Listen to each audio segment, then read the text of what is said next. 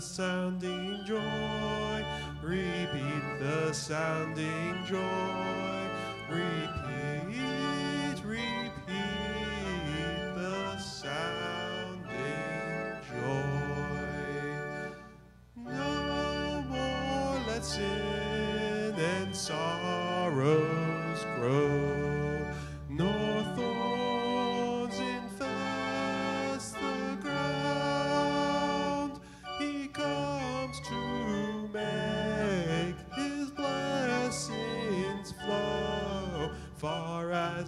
curse is found,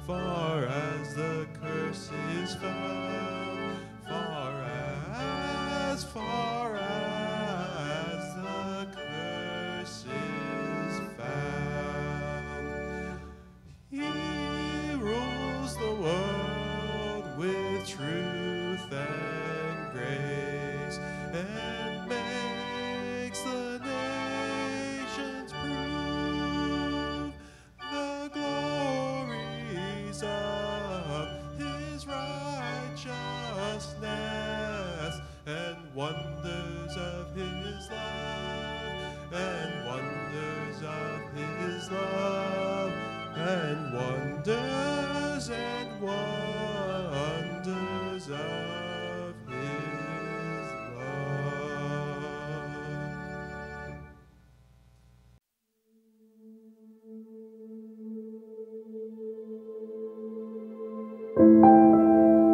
This small child, this tiny, fragile life, carries with it the hope of all humanity. This small voice, now crying out in dark chambers, will one day still the raging sea, will call forth the dead to rise and live. This voice will declare, It is finished, and shatter the grip of sin. These small hands, now grasping for comfort, will one day restore sight to the blind, will break bread and feed the multitudes.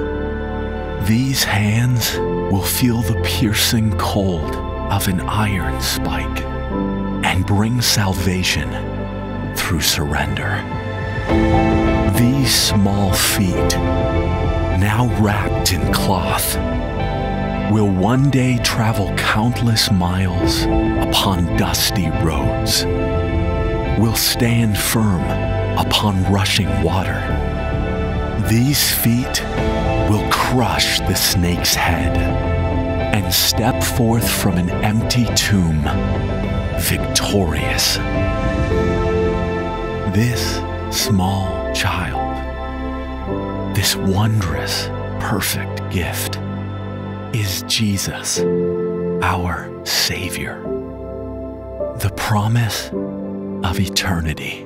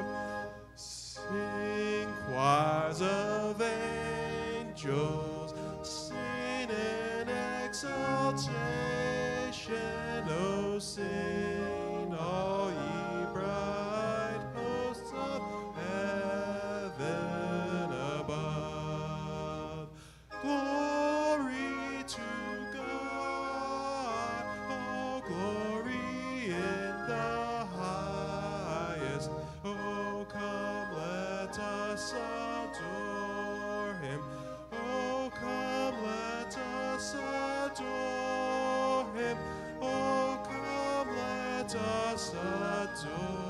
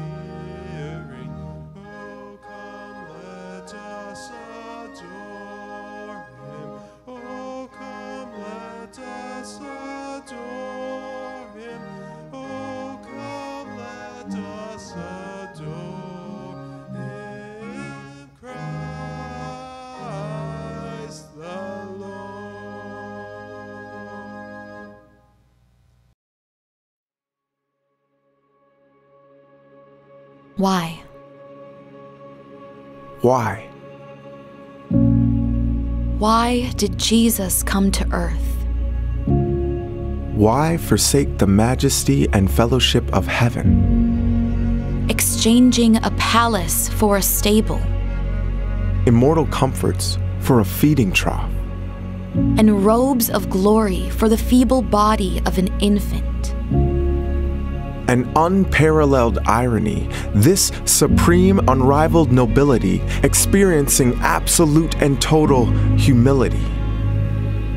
Our sovereign God, Emmanuel, as a baby. He didn't come to heap shame upon sinners or to judge and cast out the impious, but to break bread with those called unrighteous. He didn't come to illuminate every mystery of the cosmos or to enlighten the intellectual, but to fulfill the testimony of prophets clothed in rags. He didn't come to elevate a single nation or to advocate a particular political affiliation. He came because he saw you, broken, in need of salvation. He saw you lost and abandoned, crying out, surrounded by deaf ears, fighting through the tears, but beaten down by the torments of this world. And unable to bear your distress, he renounced his eternal throne, Walked the earth, bore the stripes, accepted the nails, and gave up his last breath. so that you could receive the breath of life.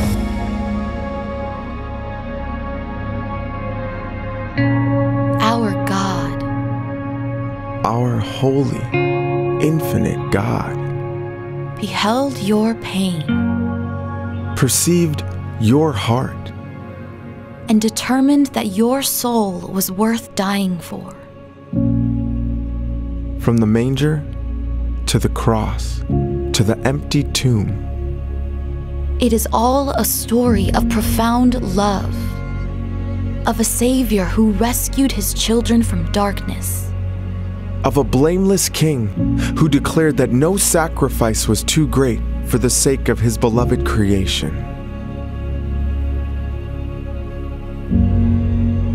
Why did Jesus come to earth? He came for you.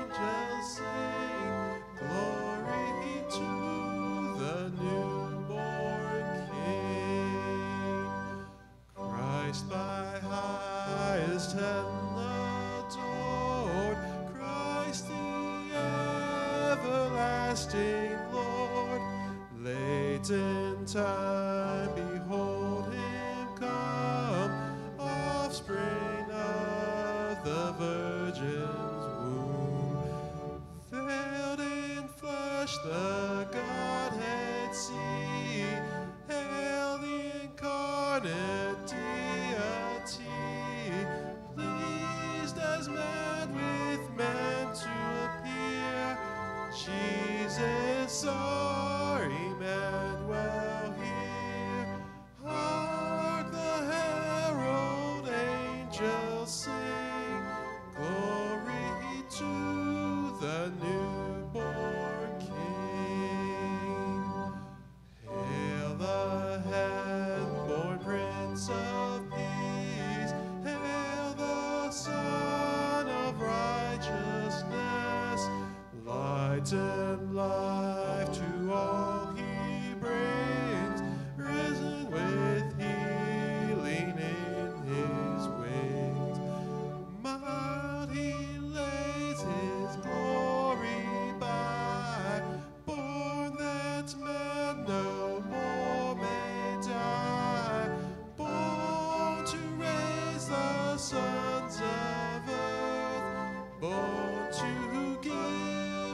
second birth. Hark the herald angels sing, glory to the newborn King. Luke chapter 2, verses 1 through 20. In those days, Caesar Augustus issued a decree that a census should be taken of the entire Roman world. This was the first census that took place while Quirinius was governor of Syria, and everyone went to his own town to register. So Joseph also went up from the town of Nazareth in Galilee to Judea, to Bethlehem, the town of David, because he belonged to the house and line of David. He went there to register with Mary, who was pledged to be married to him and was expecting a child.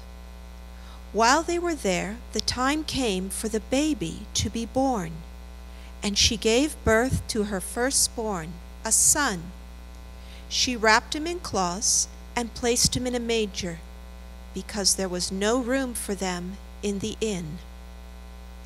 And there were shepherds living out in the fields nearby, keeping watch over their flocks at night. An angel of the Lord appeared to them, and the glory of the Lord shone around them, and they were terrified. But the angel said to them, Do not be afraid. I bring you good news of great joy that will be for all the people. Today, in the town of David, a Savior has been born to you. He is Christ the Lord. This will be a sign to you. You will find a baby wrapped in cloths and lying in a manger. Suddenly, a great company of the heavenly host appeared with the angel, praising God and saying, Glory to God in the highest, and on earth peace to men on whom his favor rests. When the angels had left them and gone into heaven, the shepherds said to one another, Let's go to Bethlehem and see this thing that has happened, which the Lord has told us about. So they hurried off and found Mary and Joseph and the baby who was lying in the manger. When they had seen him, they spread the word concerning what had been told them about this child. And all who heard it were amazed at what the shepherds said to them. But Mary treasured up all these things and pondered them in her heart.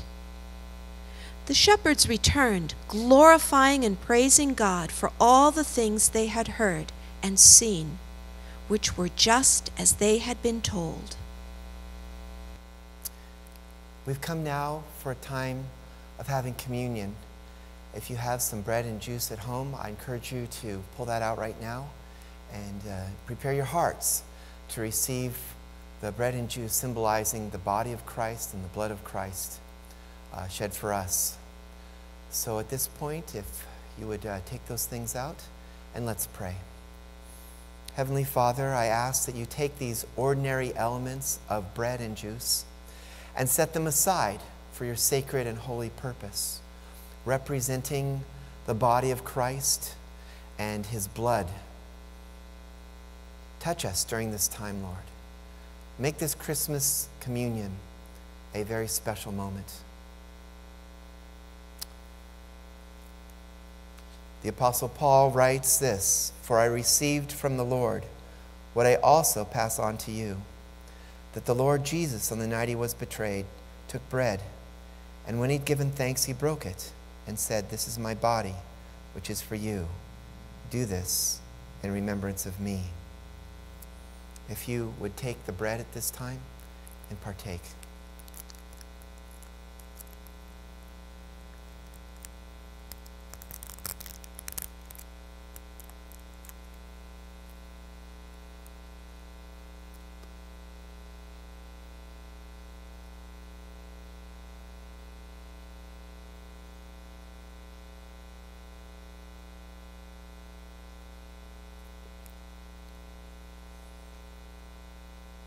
And in the same way, after supper, he took the cup, saying, This cup is the new covenant in my blood. Do this in remembrance of me. For whenever you eat this bread and drink this cup, you proclaim the Lord's death until he comes. Now partake of the juice.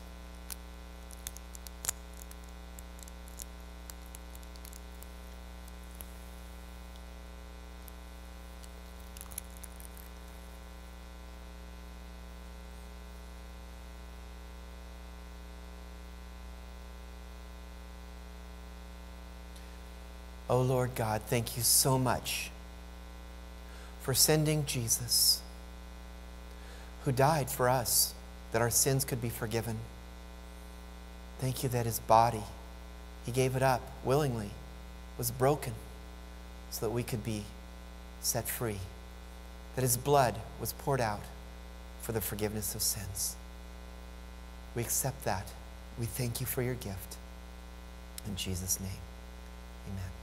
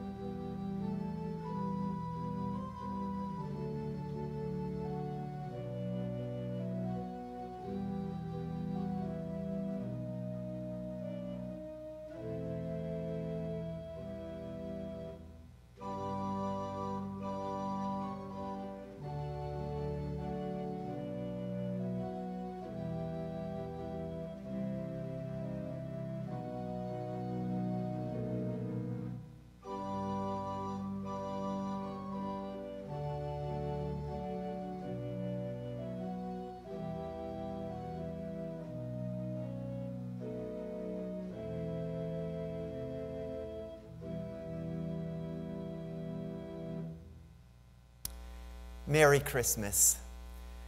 You know, I really wanted to have an in person Christmas Eve service at the church and, and make it really beautiful and special. For a pastor, that's always one of the biggest nights of the year.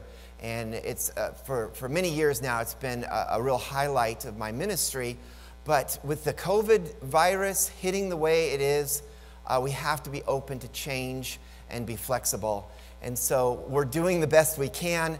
Uh, we didn't have an in person service this year, but we're online. And I just want to thank you for joining us tonight for this uh, Christmas Eve service online. It's, uh, it's not the same, but I want you to understand that even though we're separated, that we're apart in our different homes, that through Christ there is a unity. Through Christ we are joined together in spirit. And so I, I hope you've enjoyed the service so far and that this, this message will really impact you in, in a special way. Uh, I've preached many, many sermons on the theme of Christmas and the story of Mary and Joseph. And I really felt like the, the message that the Lord laid on my heart to give to you tonight is not based on one of the common stories of Christmas of Mary and Joseph, but I really wanted to talk about a bigger picture taken from Philippians chapter 2. So, so we're going to look at Philippians chapter 2, verse 1 through 11. And this is the Christmas story, but it's taken from a, a different perspective, understanding that Jesus pre existed, that Jesus was God and then took on human flesh. He was deity and then took on humanity. And Paul makes this very clear. This is one of the best passages to really explain what's going on at the birth of Jesus. And so let's look at that. I'm going to read it to you here, and you can follow along on the screen. A letter from the Apostle Paul to the Christians at Philippi, and this is what it says Therefore, if you have any encouragement from being united with Christ, if any comfort from his love, if any common sharing in the Spirit, if any tenderness and compassion, then make my joy complete by being like minded, having the same love, being one in spirit and of one mind. Do nothing out of selfish ambition or vain conceit. Rather, in humility, value others above yourselves, not looking to your own interests, but each of you to the interests of the others and your relationships with one another have the same mindset as Christ Jesus, who, being in very nature God, did not consider equality with God something to be used to his own advantage. Rather, he made himself nothing by taking the very nature of a servant. Being made in human likeness and being found in appearance as a man, he humbled himself by becoming obedient to death even death on a cross. Therefore, God exalted him to the highest place and gave him the name that is above every name, that at the name of Jesus every knee should bow in heaven and on earth and under the earth, and every tongue acknowledge that Jesus Christ is Lord to the glory of God the Father. All right, I want to go back and really look at this passage, and there's really two main parts of it that I'm going to talk about. First of all, verse 1 through 4, we're going to take a look at that. And then, secondly, we'll look at verse 5 through 11 that really gets more into what the Christmas story is all about. But let's start with what Paul is saying, and he's writing to the, the Christians in Philippi. But I like to personalize things. I think we should apply Scripture to ourselves. And so I want you to apply this to our church and to your life. So, what Paul is saying here is he says, if you are united with Christ, you see that? If, if there's any, if you're united with Christ, if you're experiencing the Holy Spirit, if you are a follower of Jesus Christ, then what's he say? He says, we should have a unity, that we should be of one mind, that we should be working together and have a unity in Christ and through Christ. And part of that is not being selfish, it's having this love. He, he says, make my joy complete You'll really make me happy, church, if you guys really love each other, get along, and, and help each other out, and, and do these kind of things, having the same love and be united in spirit, have one mind. You know, that's what he's talking about, have one mind. And then there's this part here do nothing out of selfish ambition or vain conceit. That is the opposite. Don't be selfish. Don't do anything out of selfish ambition or vain conceit. Now, I like to illustrate uh, things, and so I'm going to tell you a, a story here that uh, comes from Alice. She's now a grown woman, but when she was in first grade, she wrote this in an article that I read. Uh, she talks about when she was in uh, uh, first grade, uh, she sat in the class and was really enjoying the class, but the girl behind her brought in a present, a little tiny Christmas gift. It was only one inch by one inch, but it had this a beautiful wrapping around it. It was white with, uh, with red wrapping around it, and it was just exquisite.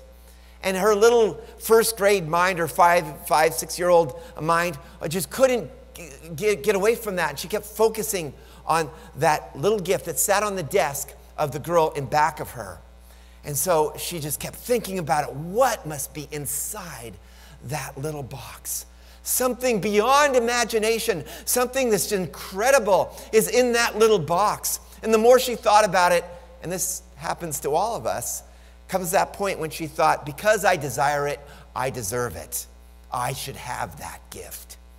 And so she made a plan and she took the early bus and she got to school uh, before anyone else, usually. And so it wasn't hard for her to go into the classroom early without anyone else there. And she went over to that little tiny, uh, exquisite Christmas gift on, on the girl's desk. And, and she, she, she, no one was around. She grabbed it and then her fingers ripped it apart, looking for what's inside the box. It was going to be hers. And when she finally opened it up, there was nothing. There was nothing. And then came this shock of it was just a decoration. It's an empty box that was just on her desk as a little decoration for Christmas. And here she destroyed it. She to- totally ripped it apart. And there was no way to put it back. And now she had to live with that guilt of what she'd done. She writes about that years later, still feeling somewhat guilty of that action as a little girl in first grade. And that's what Paul is talking about. He's talking about how, how we do those kind of things that selfish ambition, that vain conceit. It's natural and it's part of our old nature and it takes over, and, and we do these things that hurt other people and what the passage is saying, and especially at this Christmas time and knowing what's going on around us with the, with the virus and all of its effects, I see people getting impatient.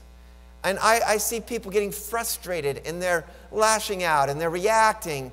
Uh, and, and that's understandable that, that self centeredness just comes uh, along because we're tired of this virus. We're tired of, of all these restrictions.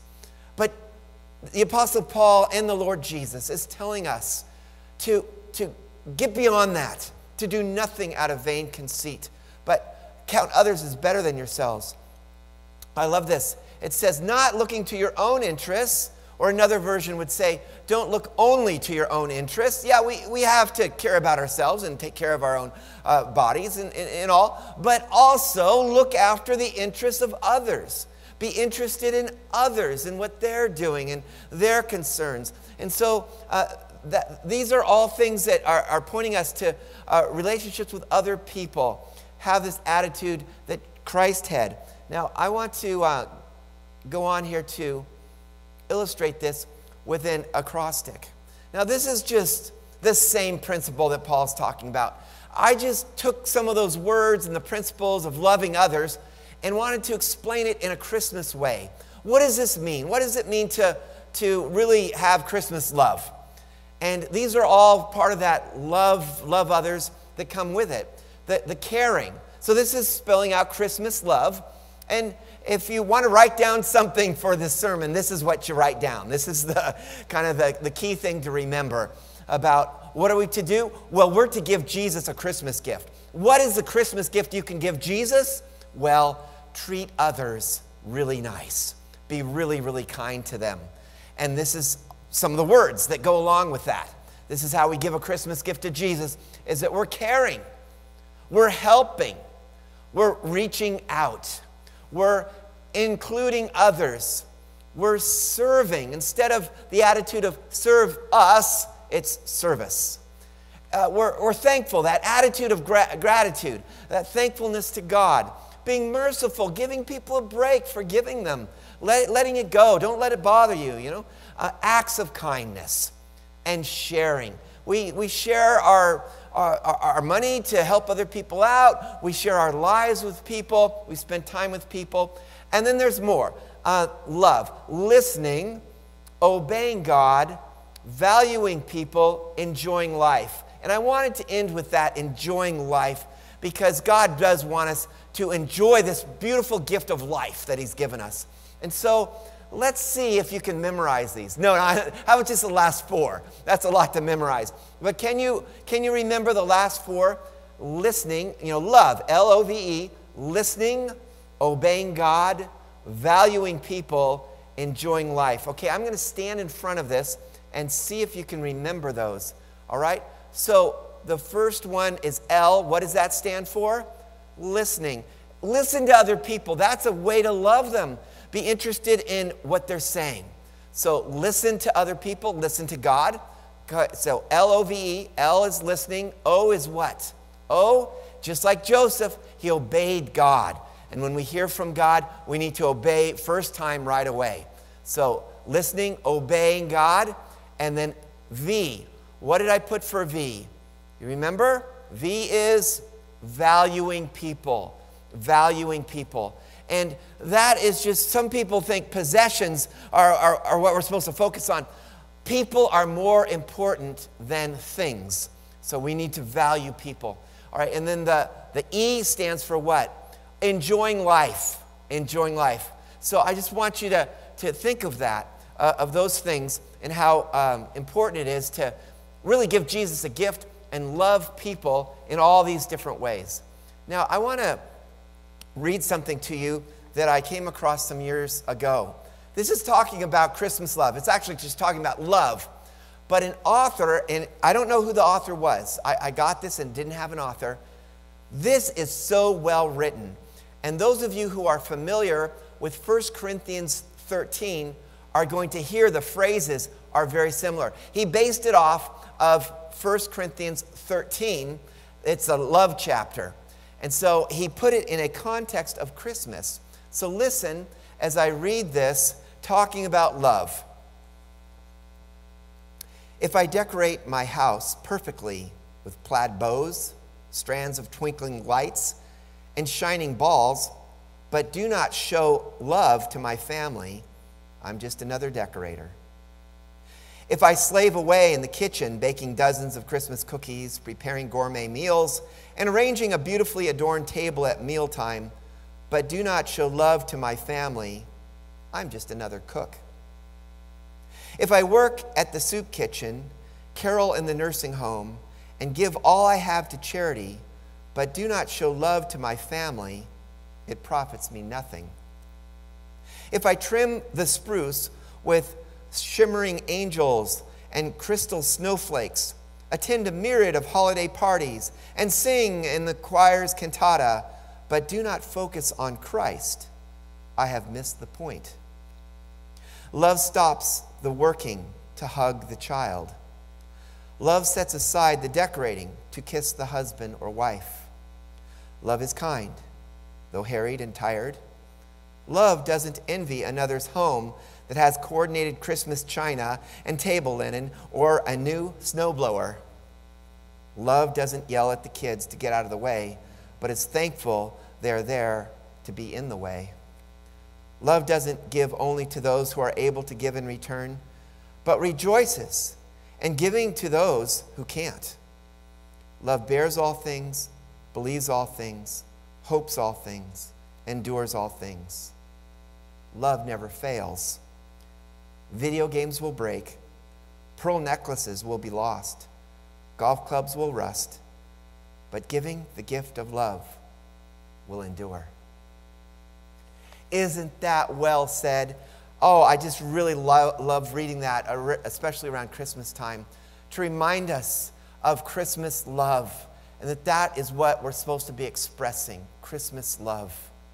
Well, I've only covered the first four verses, so let me move on to what really relates to the theme of Christmas, Jesus coming. So I'm going to go back here to these verses. It's talking about have this attitude in Christ. And then Paul goes on and talks about Jesus. Now, this is the explanation, the purpose of Jesus being born to Mary and Joseph. This is the overall purpose of why we celebrate Christmas. This is Jesus, who, being in very nature God, I want to explain that. That Jesus existed before he was born. Jesus was in the beginning when there was the creation. It says in John 1 1, in the beginning was the Word, and the Word was with God, and the Word was God. John is using that, that uh, word to represent Jesus. That means Jesus. In the beginning was Jesus. Jesus was with God, and he was God. He was with God in the very beginning. And so we believe in the Trinity. I had a couple at my uh, church in Nevada, I remember, that came up to me after a service and they said, Brent, you didn't, you didn't preach right today. Jesus is not God, Jesus is the Son of God. He's not equal with God. I was like stunned. I was like, who's been teaching you? I mean, that's not from the Bible. It's very clear that Jesus is completely equal with the Holy Spirit and with God the Father. It's the Trinity. There's an equality there. They're all God. Here's the difference Jesus, although he was in very nature, he's very nature God. That's who he is, 100% God. He didn't want to, uh, it says in another translation, he didn't want to grasp. He didn't want to hold on to that position as God. He just didn't want to remain up in heaven. No, he was willing to give all that power and glory up for a short time 33 years. And so he didn't use it to his own advantage. He didn't grasp hold of it. He didn't hang on to it. But rather, he made himself nothing. And the word there, nothing, really means going from God to human beings is like going from a human to an ant, but a thousand times greater. He went from being God with all that glory and power to taking on human nature, to becoming a human being with all of its frailties, with all of its weaknesses, its vulnerabilities. That's what Jesus did. That was God's plan as, as his role. So he took on the very nature of a servant, he took on human nature. And he came to earth not to be served, but to serve. And he, he lived a life. You know, for the first 30 years of his life, he was just an average, ordinary person living an ordinary life. He probably helped raise the family, being the oldest child.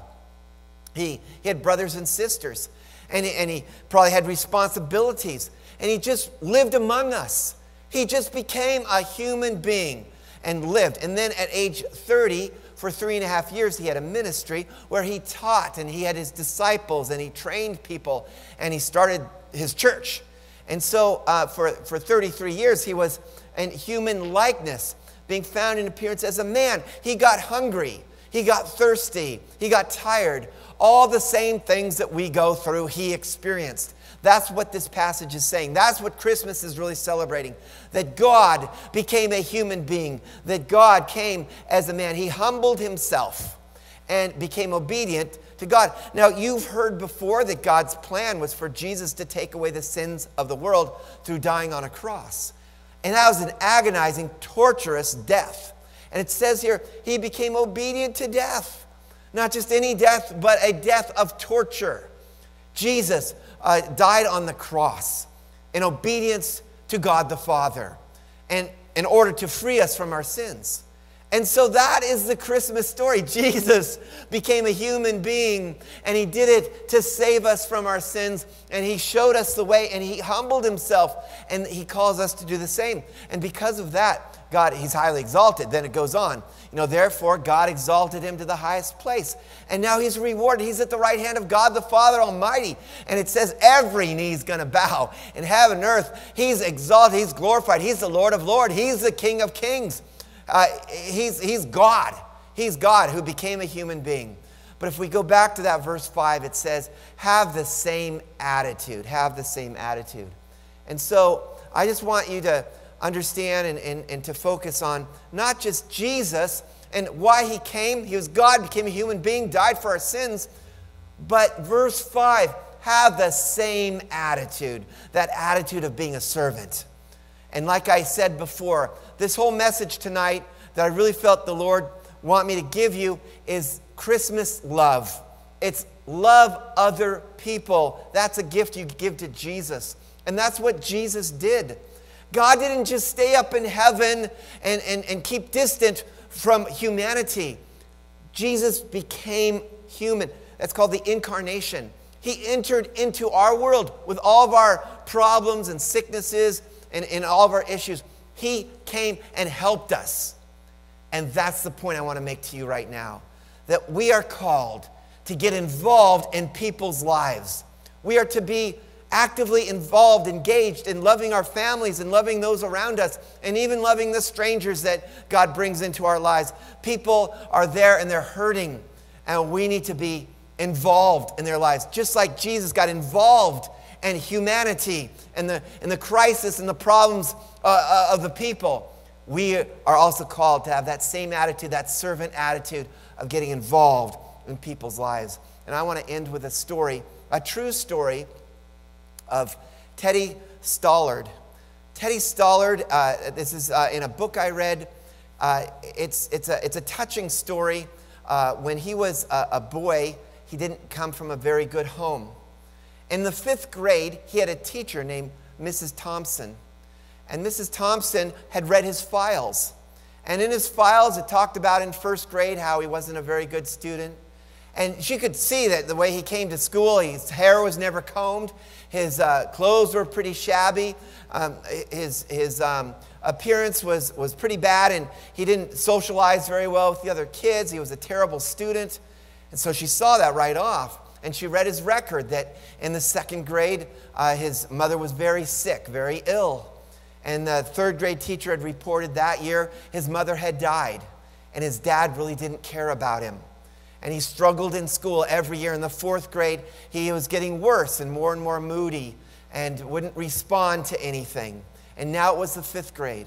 And she was his teacher, Mrs. Thompson. And, and Teddy was, uh, didn't have hardly any friends. And uh, it came uh, close to Christmas time. And the children uh, brought their teacher uh, Christmas, Christmas gifts on a certain day. And she opened these gifts, and it was a great time. The kids of the class were all gathered around as she opened them and thanked each kid. And she was pretty surprised when she saw a gift from Teddy, because he was a poor kid, wasn't, didn't have very much. And so she opened the package, and there, as, as Teddy's gift to her, was a rhinestone bracelet missing half the rhinestones and a bottle of cheap perfume. And the kids were kind of snickering at this gift. They could tell it wasn't it wasn't new. It was used gift. And, and, but she, she didn't want any laughter at him. So she put the bracelet on and she put on the, the perfume and, and she said, Thank you, Teddy. Oh, this smells so good. Class, smell this, smell this. And all the kids then go, Oh, yeah, that is really pretty. That's, that's great perfume. And so it was, it was a very nice thing that he'd done. And so after the class was dismissed for the day and they'd gone home, Teddy lingered at the end and he came up to his teacher and he said, Mrs. Thompson, you smell just like my mom. And that was her bracelet. And she thanked him again and then he walked out. And it was at that moment that God, in that still small voice, spoke to Miss Thompson and said, You are to be Jesus to Teddy. Be Jesus to Teddy. And her whole demeanor and her attitude changed. And the next day, when Teddy came in, she said, You need to stay after school. I'm going to spend time with you. And so she uh, started tutoring him after school and, and working with him. And not only that, she taught him other things besides schoolwork. She introduced him to other hobbies and interests and games and got him excited about uh, uh, other things and got him involved in after school activities. And his whole demeanor started to change, and he started to feel better about himself, and he even started to make friends. And she tried to, you know, coach him and explain to him how to dress, and how to comb his hair, and how to brush his teeth, and all these things that a mother would normally do. She took on that role, and she totally transformed him. By the end of that school year, he'd caught up to the other students. He was, he was happy, and he was uh, uh, uh dressing much better and looking much better. And she not only kept in touch with him that year, but from then on, she would uh, call him and, and go to his uh, activities and constantly encourage him on and on and on. And so the years went by, and, uh, and, and he graduated from high school and he wrote her a note. He said, Miss Thompson, I want you to, to be the first to know. I graduated from high school second in my class. She was so proud of him. She went to his graduation, was very proud of him. He went off to university. And after four years, he wrote her another note saying, Mrs. Thompson, I want you to be the first to know I graduated first in my class. And he went on to medical school. And after a few years, he wrote her another note saying, Mrs. Thompson, I just finished medical school. You can now call me doctor. Doctor. And he said, In one month, on the 27th, I'm getting married. My father's died. I have no family. You're the closest family I have. Would you come to my wedding? Would you sit at the seat where my mother would have sat? She agreed to do that, absolutely. And she came to his wedding and she was there for him because she had given him what he really needed that love, that care, that that Christmas love that we're called. We're called to get out and intervene in people's lives.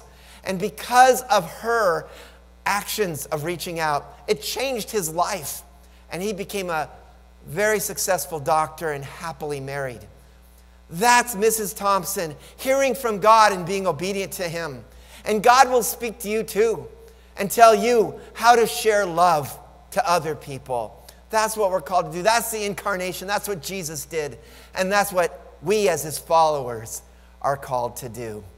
All right, I just want to end with a prayer and ask that God will just speak to you and speak to your heart uh, at this Christmas time. Uh, Heavenly Father, I just thank you for your word that, that, that calls us to be greater than the selfish ambition we often have than the self centeredness that's so natural. I pray, Lord, that we overcome that and that you fill us with the Holy Spirit and with that spirit of love. Jesus has done so much for us. He's come and, and, and, and died on the cross that we might have our sins forgiven. And Lord, in our hearts, we want to make him Lord. We don't have to wait till the judgment. We're going to say it right now. He is Lord. He is Lord. He is Savior. He is God. And if there's anyone that doesn't know Him as Savior, I pray right now that you'll give your life over to Jesus. That this Christmas will be a new birth spiritually for you. Just give Him your heart. Ask Him to forgive your sins and ask Him to take over your life. And for each of us, Lord, I pray that you give us that insight into how to spread Christmas love. Help us, Lord, to spread Christmas love everywhere we go. For we want to be like Jesus. And it's in His name we pray. Amen. Thank you for joining us, and Merry Christmas.